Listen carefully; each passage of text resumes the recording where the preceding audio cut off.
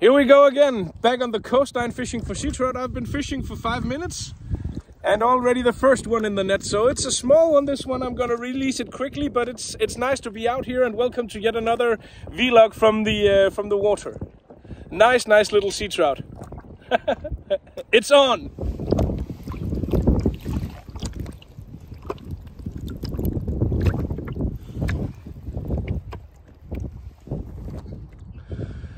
Well, there was only the one small fish on the first spot of, of the day.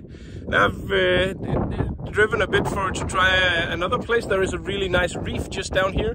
Today I'm fishing with my TFO Legacy um, which is, uh, is, is is one of my favorite rods from uh, from TFO. Um, it's it's really nice to take this out for a spin again. It casts just so so great. It performs really really well. So it's it's nice to fish with you know a lot of different gear and uh, and the TFO rods in particular are something that I I really really enjoy fishing. So let's see if it can find me some more fish.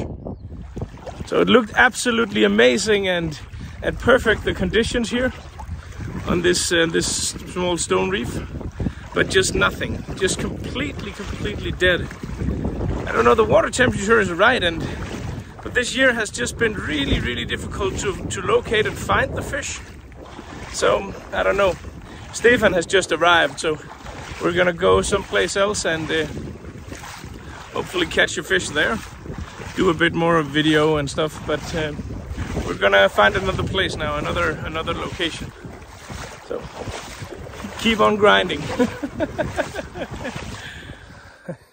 I don't know if you can see with the sun where it is, but just down there is a really, really nice small reef. We went down there and, and filmed something about some fly rods and some waders and stuff. And I managed to catch a, a small one more, but well, yeah, it was only a small one, so he was quickly released. We had hoped for a bit more fish, Conditions are perfect, but for some reason the fishing is just hot today. I have about three hours sunlight left. Already gotten a lot of sun this day, so I'm gonna find another uh, another spot and uh, and give it a go. Um,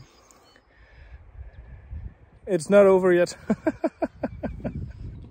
well, I um, I I I had to face that I was too tired. I've been fishing all day for many many hours and fished five different spots quite intensively and uh, and with a lot of a lot of enthusiasm but it only I only got two small fish today which is an it's an okay day you know it's it's better than nothing but I know don't know why it, has been so hard this uh, this year but it just have so I was tired and I drove home um, um, so that's it for this uh, this vlog from from the water.